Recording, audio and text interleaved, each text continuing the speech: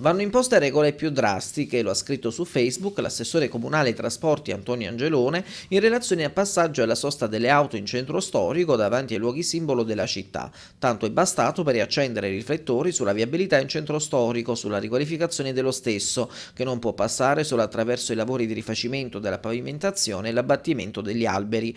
Decido di fare una passeggiata in centro per godere il sole autunnale. Arrivando in piazza Plebiscito sono costernato nell'accorgermi dell'inciviltà di alcune alcune persone, racconta Angelone, un gruppo di turisti fa slalom tra le automobili parcheggiate perché nessuno rispetta i divieti di sosta.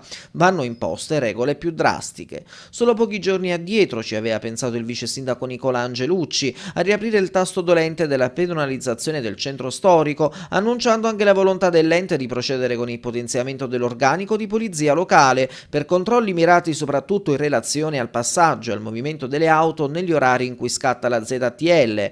Per Angelucci è inconcepibile e impensabile passeggiare per il corso e avere sempre un'auto dietro senza motivo, come avviene per chi risiede in via Barbato che per entrare nella sua abitazione va a finire a Porta Napoli.